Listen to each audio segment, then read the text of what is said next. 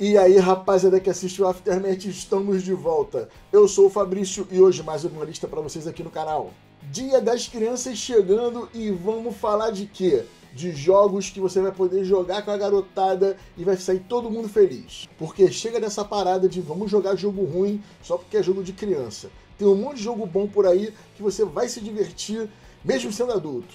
Então cola comigo. Mas antes de começar a falar dos jogos, eu quero lembrar o seguinte: nós temos um plano de apoio no PicPay. Você pode ir lá procurar por Aftermath BG, escolher qualquer um dos três planos que já ajuda a gente absurdamente. E assim que você escolher o plano, já te coloco na lista do WhatsApp para bater papo com a gente e já vai participar dos sorteios que acontecem aqui mensalmente para quem apoia o canal. Então vai lá no PicPay e fortalece a nossa criação de conteúdo. E eu quero agradecer nossos patrocinadores regulares, a Távola Games, essa loja online irada, onde você vai comprar com toda a tranquilidade do mundo. A Márcia vai embrulhar bonitinho e despachar para você. A Turnos, que faz bolsas iradas para você transportar o seu jogo com segurança, com tranquilidade e que eu sorteio todo mês para quem é apoiador do canal. E a Grula 3D, essa empresa que está sempre na vanguarda procurando componentes irados para imprimir e deixar seu jogo bonitão, bacanudo em cima da mesa. Na descrição do vídeo tem o um link para todos eles, vai dar moral para quem dá moral pro canal. Se você não por aqui, já dá aquele joinha, se inscreva no canal. Partiu nossa lista de 10 jogos para jogar com a criançada. Para começar a lista, eu chamo Arquimedes.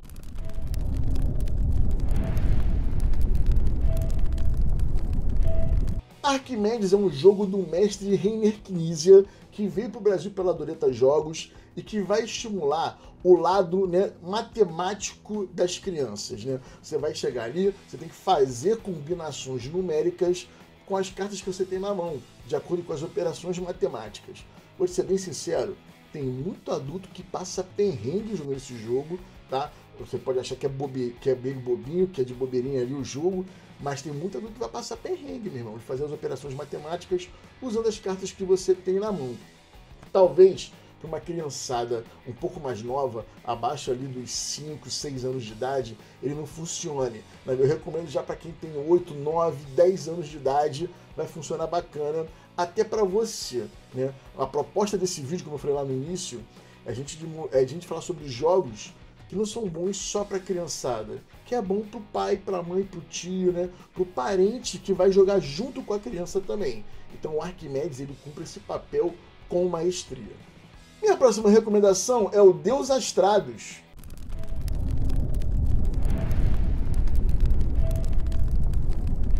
Jogo do Alexander Francisco, lançado no Brasil pela TGM, é divertidíssimo, tá? ele pode talvez exigir crianças um pouco mais próximo da adolescência, porque você tem que criar uns padrões de imagens ali que pode ser muito confortável, mas que vai garantir a diversão de todo mundo, de todo mundo na mesa, vai.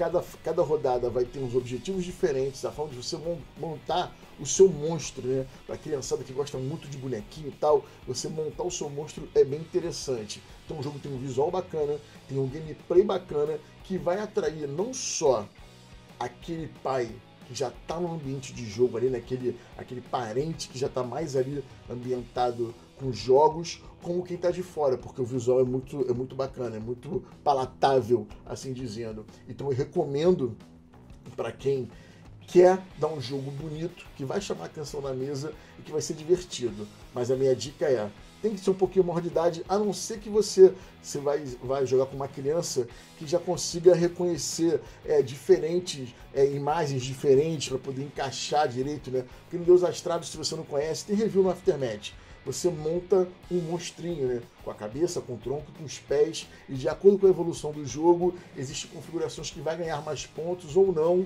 determinada combinação de monstro. Isso é bem bacana, é bem divertido de você poder jogar com a criançada. O próximo da lista é Bandido.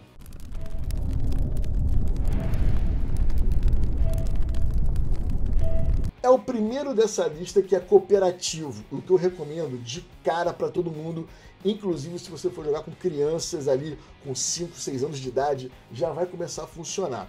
Por quê? Tem muita criança que não consegue lidar com a derrota. Estar perdendo talvez não seja bacana para algumas crianças. No é cooperativo. Todo mundo se ajuda. E você implementa esse, essa coisa na criança do lance dela entender que nem todo jogo é para se ganhar sozinho. Você precisa ganhar em equipe. Então você joga um jogo que vai até quatro pessoas. Talvez esse seja o único ponto negativo do bandido. Ele poderia caber mais pessoas, ser mais divertido. Mas ele vai de uma a quatro pessoas. As partidas são muito rápidas, então você vai jogar várias vezes e vai treinar. Esse sistema cooperativo com as crianças. E sem contar que é muito divertido. Você tem que fechar os caminhos ali para não deixar o bandido fugir. Então, força a criançada a prestar atenção, entender o que está acontecendo e respeitar as regras de encaixe, né, os padrões de encaixe do jogo ali.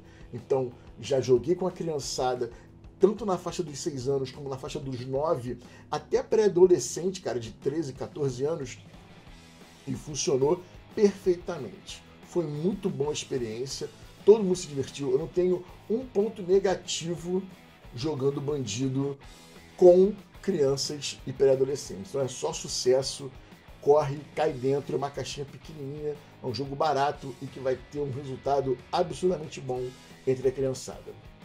O próximo da lista é o The Mind.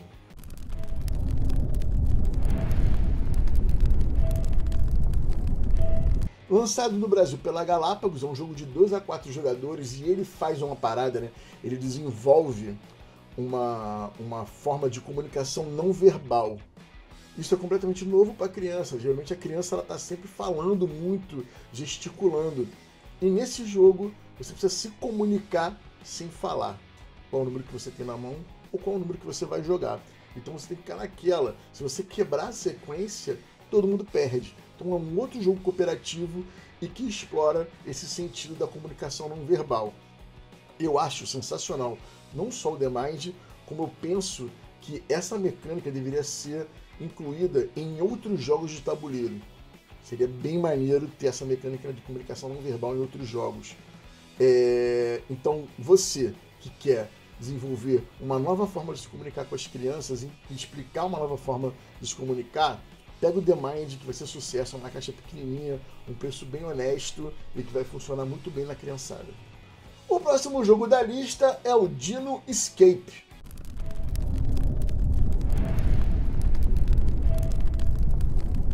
Mais um jogo da TGM do Eduardo Andrade e que ele já vem com uma mecânica que já pode ser conhecida da criançada, né? Que é a colocação de peças. Se a criança já jogou dominó, o Escape já tem essa mecânica lá dentro que você precisa respeitar os padrõezinhos para encaixar as pecinhas uma da outra. E para mim a vantagem absurda é que tem dinossauro. A criançada é maluca por dinossauro e você tem que fugir com o seu dinossauro da explosão do vulcão. A lava vem vindo e tu vai metendo o pé com, com, com o dinossauro. Eu acho isso sensacional. É, nas partidas que eu joguei, teve vencedores, mas os perdedores não pegaram fogo talvez pode ser meio complicado para criança ela ver o dinossauro dela pegando fogo, né? Mas enfim, é, para mim vale a pena você pela temática do jogo, pelas mecânicas que o jogo tem, pela atenção que ele dá. Ele não vai ser um cooperativo, você pode evitar ali, quando jogar com uma criançada, de dar pernada nas crianças ali, né? Porque você tem um pouquinho de interação entre os jogadores, mas para mim a temática ganha o coração da molecada. Você falar que você vai ser um dinossauro que tem que fugir da explosão de um vulcão, encaixando as pecinhas e movendo o dinossauro, vai ser sensacional. Para mim é só sucesso. Escape, entre os que eu estou falando, acho que junto com o Bandido ele seria obrigação na coleção de quem tem criança em casa. O próximo da lista é o Marrakech.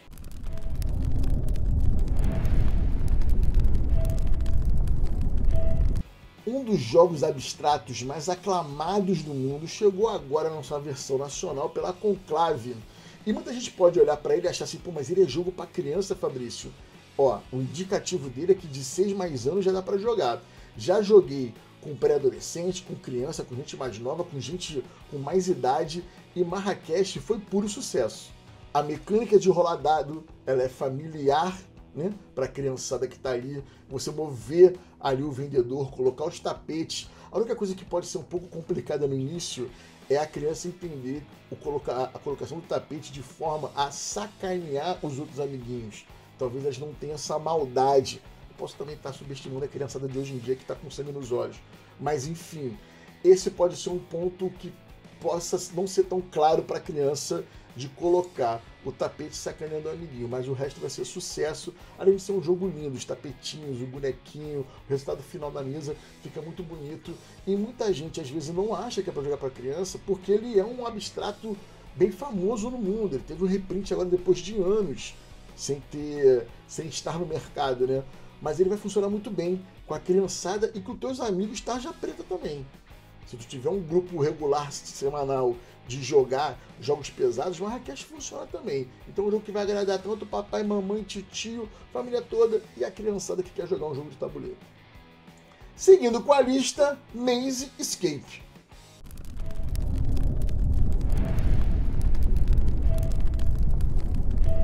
De todos os jogos que eu falei até agora, o Maze Escape ele é o único que é solitário. É um jogo para jogar sozinho e eu gostei muito dele. Ele lembra muito é, uma brincadeira que tinha nos jornais de antigamente, de você vir com a canetinha para seguir o caminho do labirinto e tal.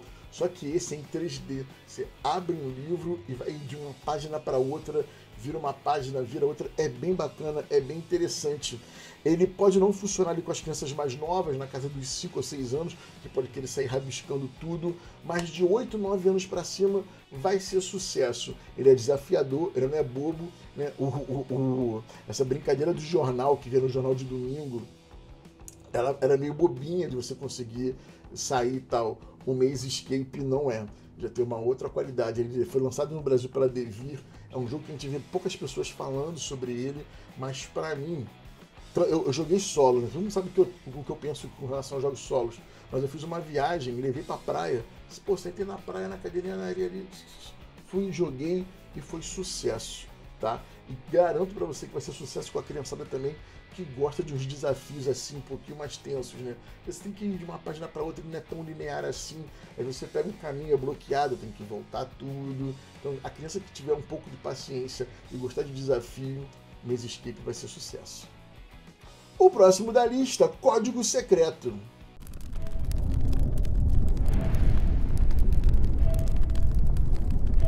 É um dos meus jogos preferidos de party game, né? Jogos festivos. E recentemente eu testei ele com adolescentes e crianças. E foi um sucesso absurdo, porque pelo tempo de vivência que eles têm no mundo, né, pelo vocabulário que eles têm, a forma como eles enxergam o jogo é diferente da nossa. E é muito maneiro. Foi uma baita experiência de eu já adulto, velho, jogando com a criançada e ver outras formas de pensar. E funcionou bem. Então, se você tiver um grupo grande de crianças, né, o código secreto ele não tem limite de jogadores. Né, a ficha dele fala até oito jogadores, mas tu pode pegar, pega uma galera, metade para um lado, metade para o outro e vamos jogar o código secreto. É bem maneiro, é bem gostoso de jogar e ver essa forma como as crianças se relacionam com as palavras, né? com, com o entendimento das palavras que são completamente diferentes dos nossos, tá? sensacional. É um jogo que eu não esperava ter, tanto que no meu top 10 anterior eu não falo sobre ele. E eu tenho ele aqui em casa. Eu, na sorte, peguei, botei na mochila numa viagem com meus sobrinhos, botei para jogar e foi sucesso. Beleza? Foi sucesso total.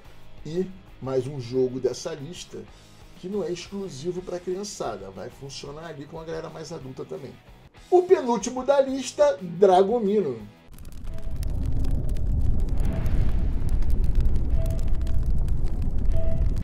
é um jogo que está chegando agora pela Paper Games.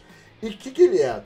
Ele é a versão daquela coleção do King Domino para criançada, com dragõezinhos para você poder cuidar. Eu, se eu não me engano, recomendei o King Domino nas edições antigas. Ele é um jogo bem bacana para criançada, só que talvez o grafismo dele, a forma de pontuar dele, não seja muito palatável para as crianças. E o Dragomino ele vem consertar isso. Ele vem com foco de ser um jogo para criançada, para fazer a criançada ser feliz e para aquele adulto que já conhece a família Kingdomino, né? Jogou Queen, jogou King, jogou Queen e jogou Kingdomino Origins, vai brilhar no Dragomino. Eu tenho todos eles aqui, a Paper Games sempre manda pra gente e eu sou muito feliz com o resultado que eles têm. É muito, bem, é muito bom ver o Bruno Catala, que é um baita designer mundial de jogos de tabuleiro, fazer um jogo bom para a criançada e que vai funcionar bem para a galera mais adulta, né? Os adultos. Então Dragon Mino vem aí também como um jogo que eu acho que é obrigação ter na coleção para atender todos os níveis de idade, né? todas as camadas etárias assim falando. Para terminar essa lista, Floresta Encantada.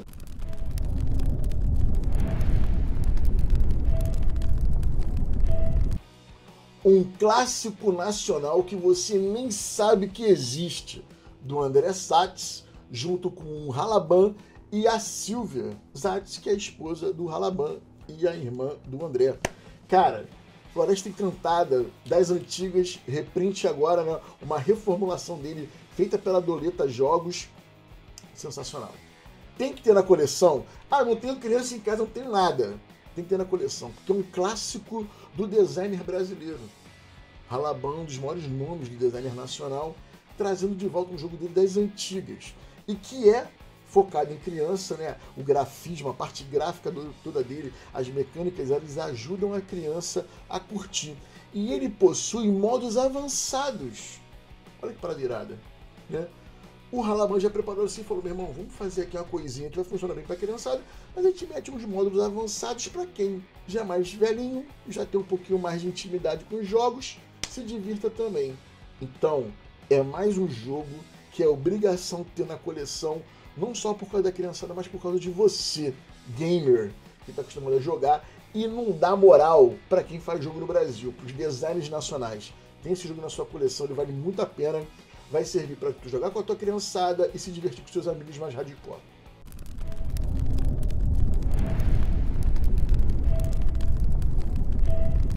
Então, rapaziada, é isso aí. Espero que vocês tenham curtido a lista, que essa lista tenha ajudado a vocês a escolher jogos aí. Tá chegando o Dia das Crianças, comprar um jogo para criançada ou escolher um jogo para se divertir com a criançada nas festas. Enfim, espero ter iluminado o seu caminho com relação a isso. Se você é novo por aqui, se inscreva no canal, dá aquele joinha, compartilha para ajudar na divulgação. Beijão, forte abraço, até mais.